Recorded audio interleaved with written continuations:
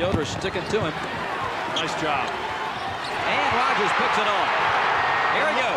Doesn't look very tired there. it's amazing the way a break a breakaway dunk rejuvenates your energy-wise.